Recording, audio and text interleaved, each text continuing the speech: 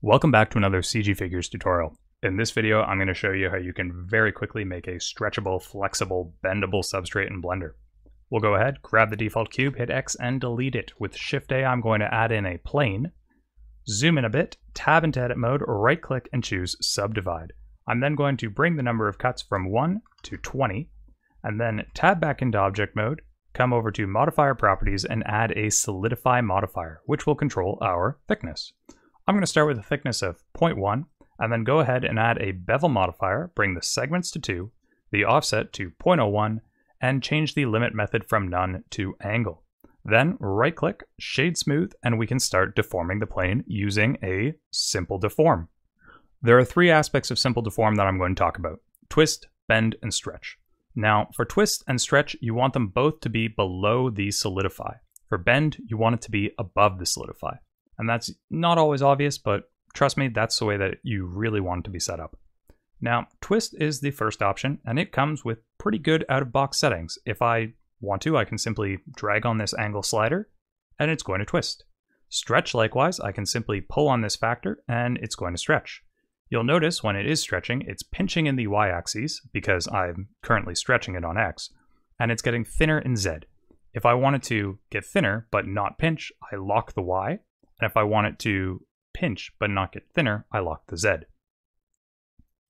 The last one that I'm going to talk about is bend, and bend doesn't come with good out-of-box settings as you can see, but they are quite easy to fix. So I'm going to drag that value down a bit, hit Shift A and add in a plane axes empty.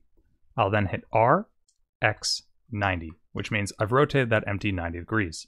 Grab the plane, and then under axes origin, choose that empty. And you can see our bend now looks much, much better. And I can just pull this angle slider and get it to bend the way I want. If I wanted it to bend in the other direction, I would change the axes from X to Z. And now it'll bend like this.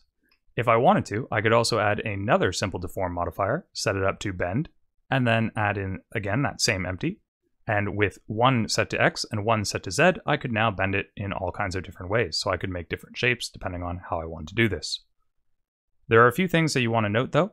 The first is that this empty is deciding how the bending is occurring. So if I move either of these objects relative to each other, say I grab the plane and I hit G and move it, you can see that's really changing how that bend is happening.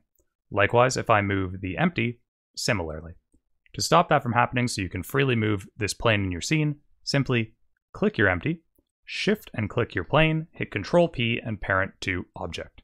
Now I can grab the plane, move it around freely, and it won't be a problem. The other thing to notice is that if I really bring this angle up quite high on the simple deform, and again, like I said, it should be above the solidify, you'll notice that I'm now starting to see these angular bits because there isn't enough geometry in this mesh. If I were to tab into edit mode, I could simply right click and subdivide more, but I'm going to do this a little bit more cleanly by adding in a subdivision surface modifier, which I will bring to the top of the stack, change to 2 in the viewport, and now you can see I've got very smooth bending. So with, without.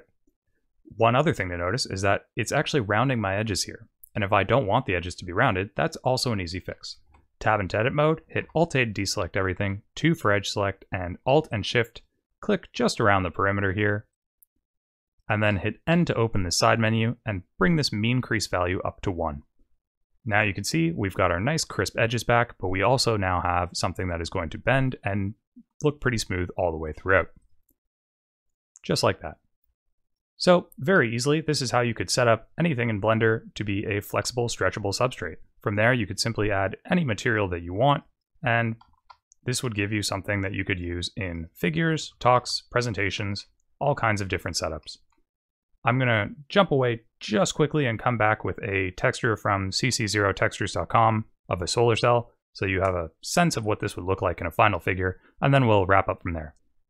And so resuming from where we were, you can see just like that, we now have something that has real value as a figure. You could use this to demonstrate flexible solar cells, devices, any kind of panel that you want, be it an LED screen or anything really. The one last thing that I'm going to comment on here is just the fact that you can see that if you're going to use a texture, it might get warped along this edge. There's a very easy way to fix that. Come to your solidify modifier and change the rim material index offset to 1. Then come to your material properties, add in a new material into the 1 slot, and simply make that whatever fits. So I've just added in a nice little silver here, and you can see very, very quickly, we now have a material where you can control how thick it is, you can control how much it bends. If you want, you can also make it twist as I catch up. You can make it twist, you could stretch it instead, all kinds of options from a very simple setup. Very quick, very easy to do, hopefully useful. So as always, thanks for coming out. If you found this useful, consider subscribing, sharing with your friends and colleagues, and until next time, you have yourself a great old day.